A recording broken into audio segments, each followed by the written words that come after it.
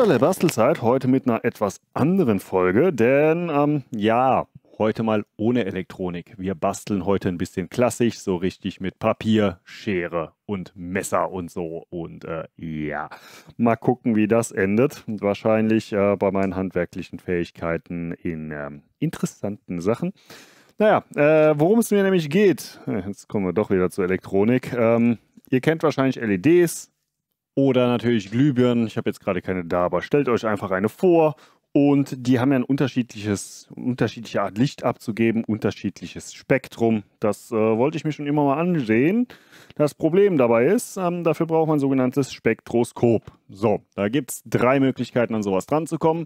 Möglichkeit 1, man kauft sich ein passendes Messgerät. Kostet Geld. Möglichkeit 2, man kauft sich ein passendes Messgerät gebraucht, um es zum Beispiel zu reparieren. Dummerweise sind die Dinger relativ selten und bisher ist mir noch keins in die Finger gefallen. Oder Möglichkeit 3, ähm, ja, man nutzt die primitive Technik, um es mal so zu sagen. Nämlich das Ganze analog, ohne Elektronik. Aber hey, wenn am Ende ein Ergebnis rauskommt, ist das ja auch nicht schlecht. Und ja, das gucken wir uns heute an, nämlich das hier, das Handspektroskop. Ähm, ihr seht schon, das hier ist jetzt als Werbung gekennzeichnet. Äh, ich habe mir das selber rausgesucht, habe selber bezahlt. Allerdings ist unten ein Affiliate-Link und es ist halt ein Produkt von der Firma, deswegen blende ich es lieber nochmal ein. Ob das was am Ende wird oder nicht, das sehen wir dann mal. Und äh, ja, das ist im Prinzip erstmal nur ein bisschen dickeres Papier mit ein bisschen Aufdruck.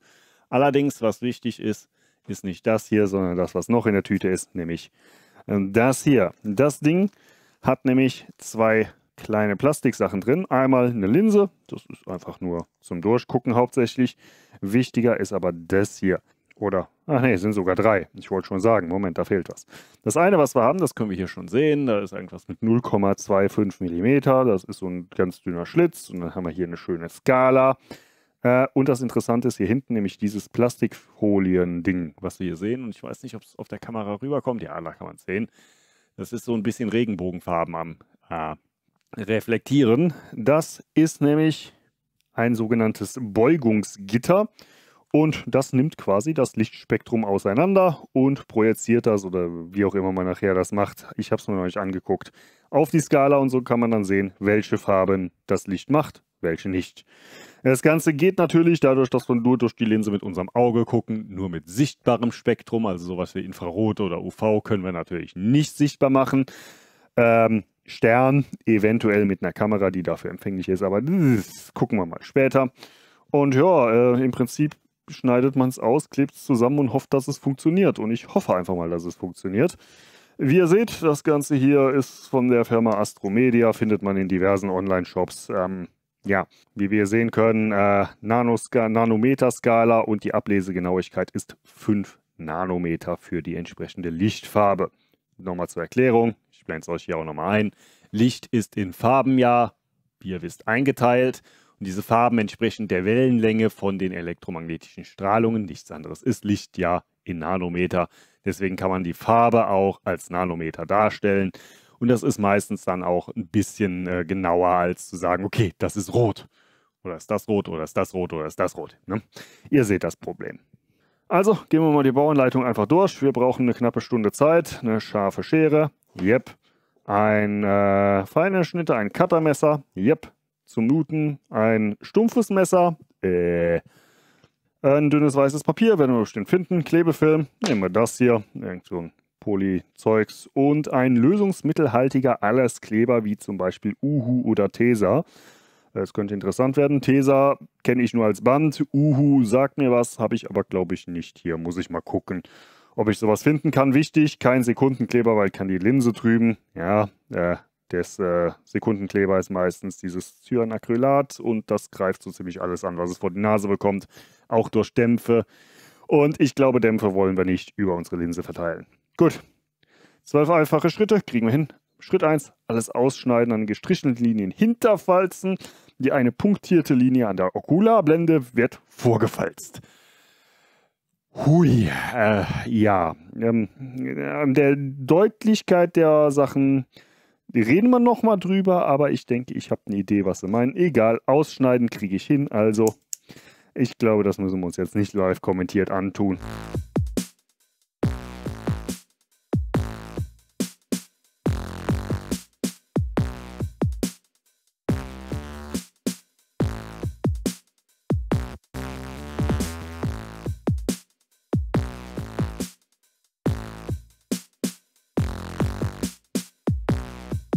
So, ich habe jetzt also alles ausgeschnitten, das hier und die beiden anderen.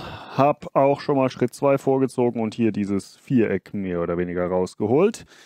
Was jetzt noch fehlt, das ist, wo war Schritt 1 hier, Gehäuse ausschneiden, eine gestrichelten Linien, Nuten und Hinterfalzen.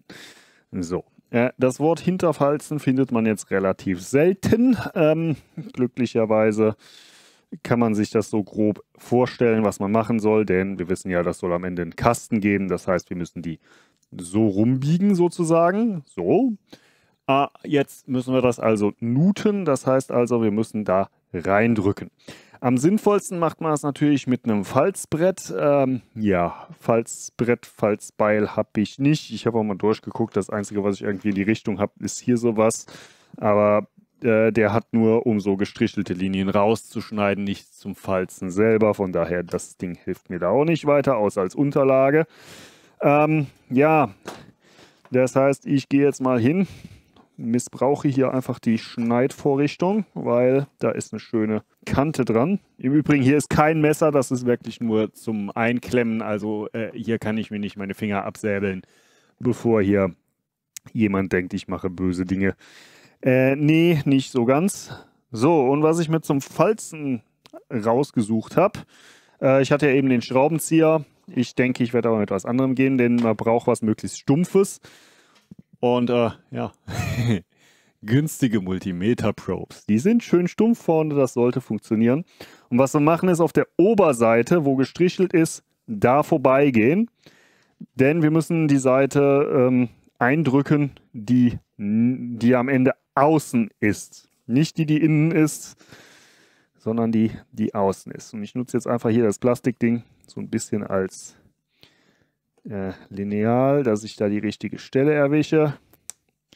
Gehe da einmal drüber und ja, das ist schön da reingedrückt. Das Ganze jetzt an allen gestrichelten Linien. Das ist dann wieder mit ein bisschen was an Arbeit verbunden. Yay. Und hier bei dieser Blende hier, äh, da haben wir noch die gepunktete Linie, die muss auf der anderen Seite entsprechend äh, eigentlich gefalzt werden. Das Problem ist, da ist noch nicht wirklich eingezeichnet.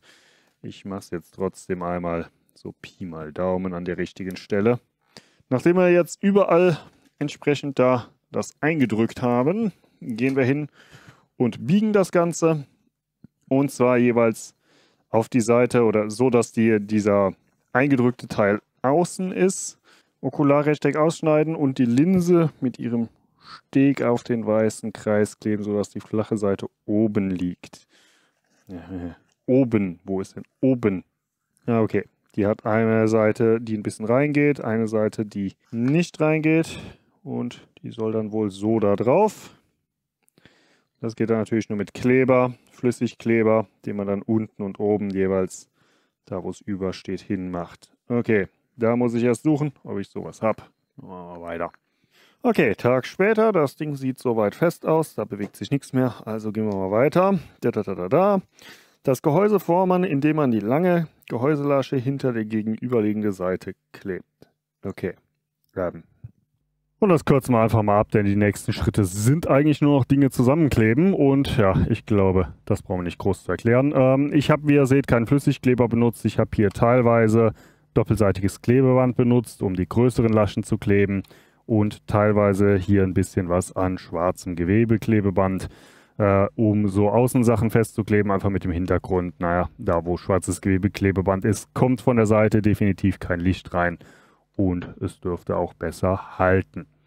Ein paar Besonderheiten beim Kleben. Ähm, fangen wir erstmal hier vorne an. Hinter der Linse hier wird das Beugegitter aufgeklebt, also das Ding, was die Regenbogen da so eben gemacht hat. Also im Prinzip ein Prisma, nur dass wir das flach gedrückt haben, jede Menge nebeneinander, dass es nicht so dick ist. Das klebt hier hinter, muss man ein bisschen rumprobieren, wie das richtig ist, ist aber auch alles beschrieben. Dann hier dieses zweite Teil, was wir separat gefertigt haben, dran geklebt. Und auf der Rückseite, da haben wir zwei Dinge. Da ist nämlich hier dieser andere Streifen, den wir hatten, draufgeklebt. Und der geht auch hier runter. Mal hier in das Loch reingucken. Äh, ich weiß nicht, ob man es sehen kann. Da ist jedenfalls der kleine Schlitz drin. Und hier auf der Seite, da haben wir entsprechend dann unsere Skala, die dann nachher von innen gesehen wird. Das heißt also hier Schlitz, hier Skala, beziehungsweise momentan hier die Skala spiegelverkehrt, wie gesagt, ist von hinten. Äh, hier ist dann noch dieses große Teil mit draufgeklebt, einfach als ähm, ja, Sonnenschutz, dass von der Seite kein Streulicht reinkommt. Und was wir auch noch haben, ist einfach ein bisschen Papier, normales Schreibpapier ausgeschnitten, lose dran geklebt. Das kann man hier so dahinter machen. Denn man nutzt quasi das Umgebungslicht als Hintergrundbeleuchtung für die Skala, wenn man vorne durchguckt. Und hiermit kann man das ein bisschen abdunkeln, wenn da zu viel Licht kommt, dass man nichts mehr sieht. Und das war es im Prinzip. Wenn wir jetzt hier hinten reingucken, können wir wahrscheinlich nicht allzu viel sehen, weil hier ist es zu dunkel. Aber äh, wenn wir mal ein bisschen Licht versuchen zu machen.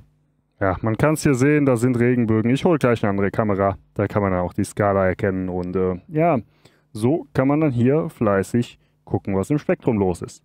Und ich habe hier mal ein Foto gemacht von einem Blick durch dieses Spektroskop in äh, Sonnenlicht. Wichtig, nicht direkt in die Sonne gucken. Das hier ist indirekt und bewölkter Tag, deswegen auch ja, relativ schwache Farben. Aber wir sehen blau, grün, rot bis hier hinten hin. Hier 700 ist eher Infrarot.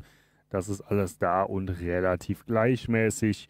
Sagt hier hinten ab, aber ob das jetzt wirklich die Sonne ist oder vielmehr die, ähm, der Infrarotfilter der Kamera, lasse ich mal offen.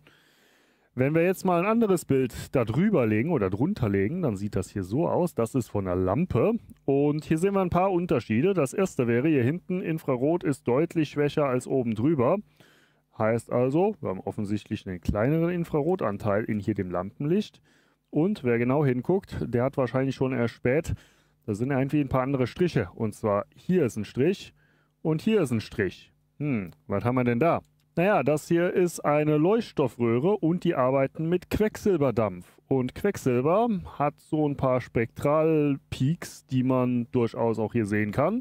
Und zwar ist einer bei 435 Nanometer. Wenn wir hier mal gucken. Äh, 410, 20, 30, ja, knapp über 435 Nanometer. Also genau das, was wir erwarten für eine Quecksilberlampe. Und der zweite Peak von Quecksilber ist bei 545. Hm. 500, 540, 545. Bisschen drüber jetzt in dem Fall hier, aber ja, offensichtlich, wir haben hier die Linien, die Quecksilber erzeugt.